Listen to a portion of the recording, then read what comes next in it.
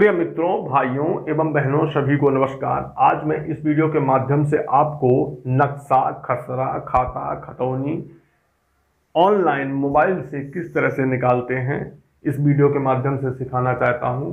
तो वीडियो को बिना स्किप किए अंत तक देखें और नक्शा, खसरा निकालना सीखें। हम अपने ज़मीन का, प्लाट का, मकान का, खेत का, खलिहान का नक्शा, खसरा, खाता, खतौनी किस तरह से निकालते हैं वीडियो को पूरा अंत तक देख के आप अपने मोबाइल से नक्शा खसरा निकालना सीख सकते हैं। तो इसके लिए हम क्रोम पर क्लिक करेंगे। क्रोम के सर्च बॉक्स में हम टाइप करेंगे एम पी भू अभिलेख M P Bhu Abhilekh dot G O V dot in oblique M P Bhu Abhilekh इस इसकी लिंक मैं वीडियो के डिस्क्रिप्शन में आपको दे दूँगा। वहाँ से भी ये लिंक आपको प्राप्त हो जाएगी। जब हम एम पी भू अभिलेख पर क्लिक करते हैं तो एक इस तरह का पेज खुल के आता है। यहाँ पे हम ओके पर क्लिक कर देंगे और यहाँ पे हम ये कैंसिल गुणे का निशान दिख रहा है, इस पर हम क्लिक कर देंगे। देखिए, आयुक्त भू अभिलेख एवं बंदोबस्त मध्य प्रदेश, यहाँ थ्री डॉट लाइन है, यहाँ पे जहाँ मेरा कर्सर है, इस पर क्लिक कर लेंगे और इसके बाद इसमें फ्री सर्विसेज़ पर क्लिक कर लेंगे। फ्री सर्विसेज़ पर क्लिक करने के बाद यहाँ कई सारी चीज़ें हैं, आप देख सकते हैं। भू नक्शा, खसरा बी वन नक्शा प्रतिलिप, इसमें से जो भी काम आपको करना है, कर सकते हैं। खसरा बी वन नक्शा तो हम इस पर क्लिक कर लेते हैं, खसरा बी वन नक्शा पर। अब देखिए, यहाँ पे हमको ज़िला का चयन करना है। किस ज़िले का हम खसरा निकालना चाहते हैं? हमने यहाँ पे रीवा का सिलेक्शन कर लिया है। अब यहाँ से हम तहसील का सिलेक्शन करेंगे। तहसील में हमने हुजूर नगर सिलेक्शन हमने कर लिया, यहाँ पे टिक कर दिए। इसके बाद हमको गाँव का चयन करना है तो हम यहाँ पे क्लिक करेंगे। और यहाँ से अपने गाँव का ये रीवा डाल दिया। आपके जो भी गाँव का नाम होगा, आप उसका सिलेक्शन करेंगे।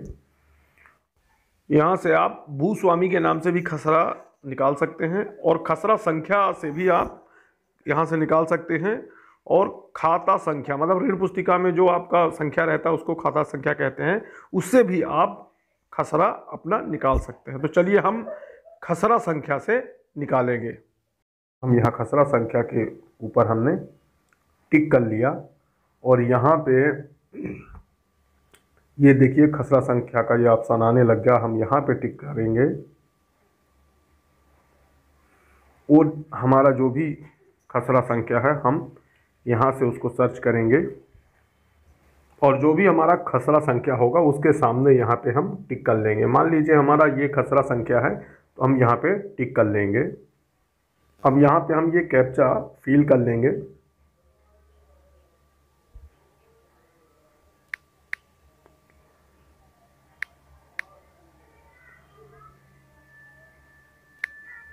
और विवरण देखें पर क्लिक कर लेंगे।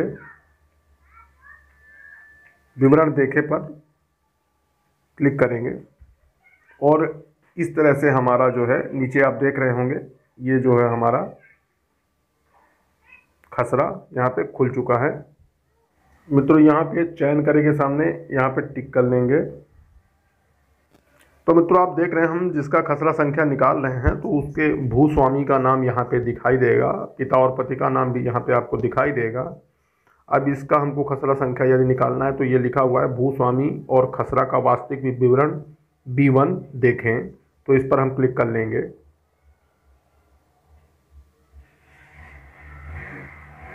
और आप देख रहे हैं, ये इस तरह से हमारा खसरा संख्या दिखाई दे रहा है और इसको यहाँ पे मेरा जहाँ कर्सर दिखाई दे रहा है, यहाँ पे प्रिंट का ऑप्शन आ रहा है।